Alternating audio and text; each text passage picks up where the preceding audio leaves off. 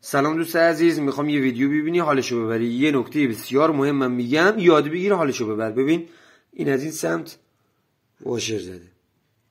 قشنگ دقت کنیم بعدش هم ما به خاطر یه چیز دیگه بازش کردیم از سمت کانال روغن. روغن میومد بیرون. سمت تایم. اینجا. می‌بینیم چسب زدن. دوست عزیز چسب نزن. قاشر سرسیلنده پژو اصلا نیاز به چسب نداره. فقط به خاطر اینکه اینجا رو چسب زدن واشر درست سر جاش ننشسته. به خاطر این روغن می اومده اینجا. اصلا کلا چسب زدن اشتباهه.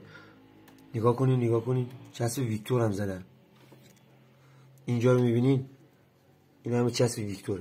اصلا کلا نباید چسب بزنی. نگاه دور بوشو.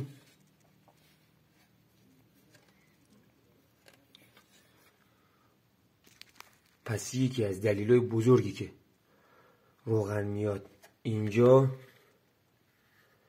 همین چسب زدن دوست